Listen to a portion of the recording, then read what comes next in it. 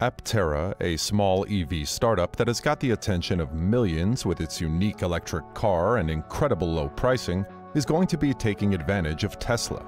When Tesla announced earlier this month that it would be making its EV charging connection open to select few, many were taken aback by the company's ambition to have its technology become the industry standard throughout North America, with time, we realized that, without a doubt, Aptera may have had a role in Tesla's decision to release the charging connection to the industry.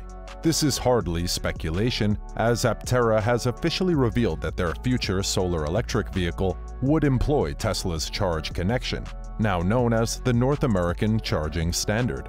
Unless you own a Tesla and have used its supercharger network, you would have no idea how to react to it because the California-based startup Aptera is developing a highly efficient three-wheeled electric vehicle that combines battery power and solar energy. The vehicle's claimed 1,000-mile range is made possible by its ultra-light construction. It has only three wheels. At the start of production, Aptera kept its ultimate plug choice from public notice, but it soon became apparent. The analysis showed how it would be far simpler to fit a tiny Tesla plug under a motorbike license plate than it would be to shove a CCS connector in there.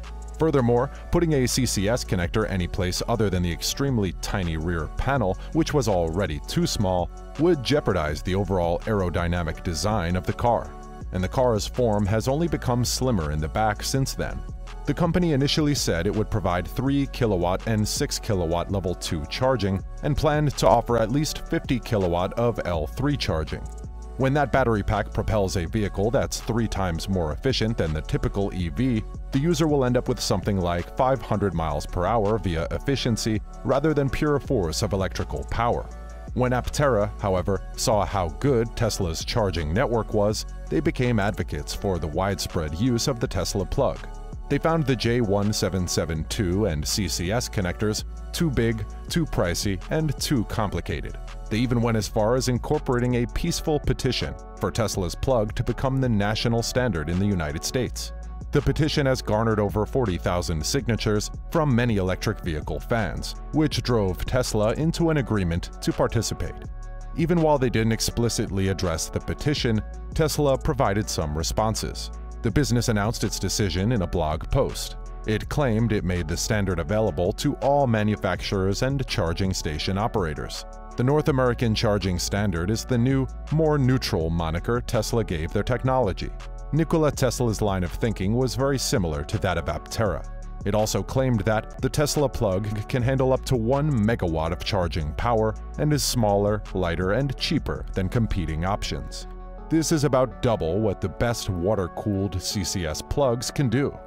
Also in North America, the Tesla Supercharger network has many more individual charging bays than all other EV quick charging stations combined. Aptera praised its community for helping promote the petition in an email to reservation holders and investors, and announced that it aims to adopt Tesla's connection, now the North American charging standard. Remember when our founders discussed the need to focus more on efficiency and accessibility in EV charging infrastructure? Steve and Chris started a petition encouraging politicians to make Tesla's connection and plug, now known as NACS, the standard for EV charging in the United States. The petition is gaining traction thanks to your help. It has over 40,000 signatures and is still growing. Only four months later, Tesla declared its intention to open up its connection design to the public.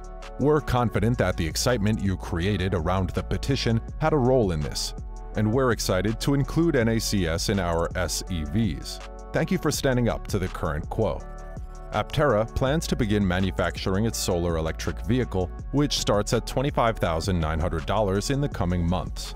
Deliveries are slated to begin next year, and the car is already in high demand.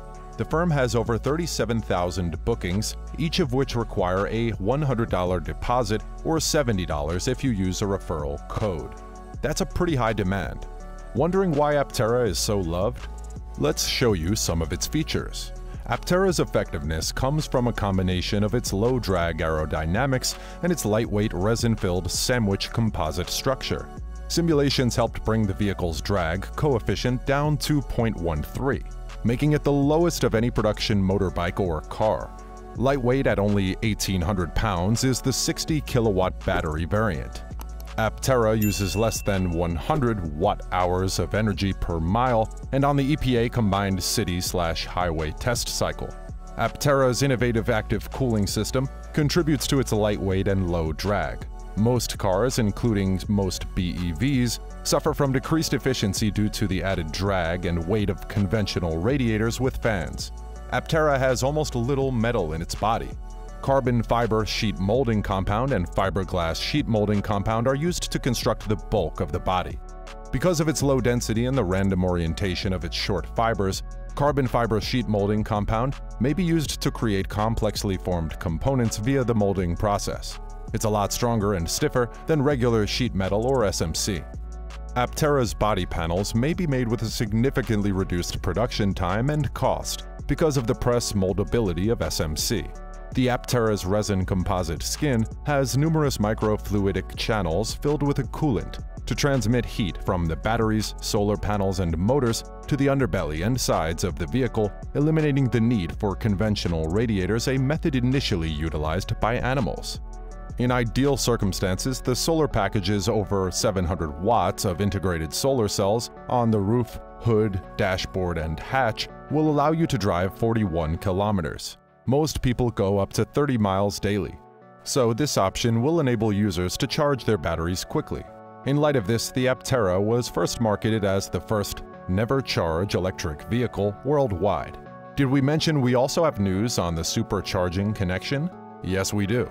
Tesla has reported that there are 40,000 supercharging connections in operation worldwide. More than 35,000 superchargers have been installed, up from roughly 35,000 in mid-June 2022 when Tesla celebrated its 35,000th installation. They also mentioned that, given the current pace of new installations, we anticipated the 40,000 mark to be achieved well before the end of this year. The update was confirmed by a post by the business, which read 40k superchargers around the world and counting. Tesla. The total number of stations is quickly nearing 4,500. It was nearly 4,300 at the end of Q3. Indeed, there are several indicators that the network's growth may quicken. The need to manage an ever-increasing influx of new Tesla vehicles is the primary driver. Currently, there are over 750 Tesla cars on the road per station or around 80 per stall. As far as new supercharger installations go, Q3 2022 was the second strongest quarter ever.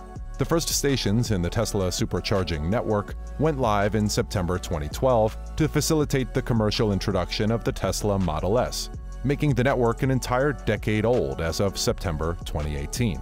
In the most advanced V3 configuration, Tesla superchargers can provide power to Tesla vehicles at rates of up to 250 kilowatts. This is compared to 150 kilowatts in an updated V2 version.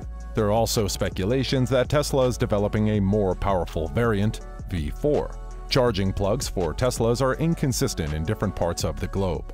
However, the company's proprietary charging standard was used in certain regions. The first firm used a CCS2 compatible connection for DC fast charging in Europe.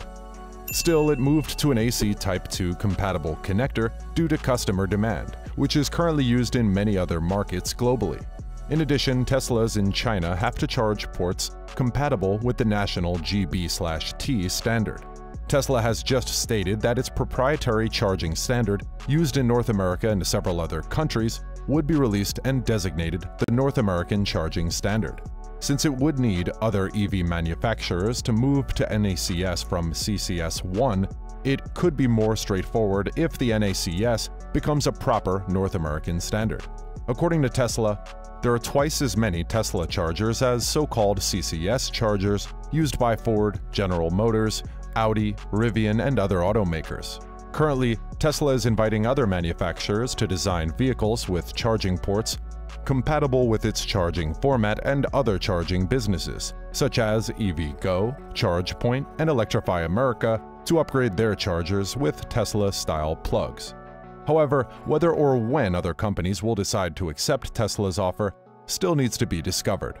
Do you think most of them will join Elon Musk's new initiative? Thanks for watching and see you in the next video.